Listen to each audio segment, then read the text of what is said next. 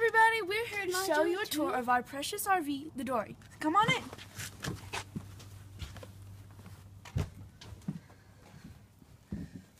So, these, this is the front part. This is where my dad will be sitting because he's the driver.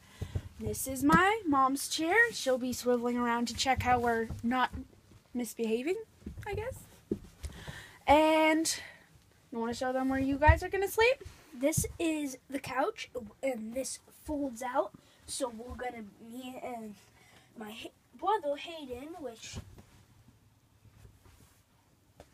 uh is right over there, will be sleeping.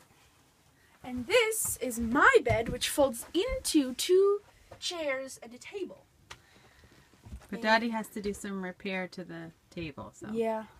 So right now, it's my bed. One guy. Hayden, you want to show the kitchen and the bathroom? All the business areas of the RV. So this is the kitchen, and there's